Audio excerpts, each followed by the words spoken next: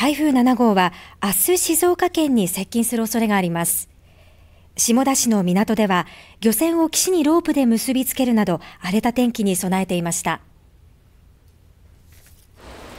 台風7号は発達しながら北上していて暴風域を伴い強い勢力で明日昼前後に静岡県に最も接近する見込みです。下田市の須崎漁港では漁師たちが漁船を岸に結びつける作業に当たっていました。波が入ると思うからねあのうねりが。どれだけのものが来るか予測がつかないからさ。明日の朝から予想される24時間雨量は多いところで中部と西部60ミリ東部100ミリ伊豆120ミリとなっています。この影響で JR 東海は明日東京駅と名古屋駅の間で東海道新幹線の運転を終日取りやめる計画です。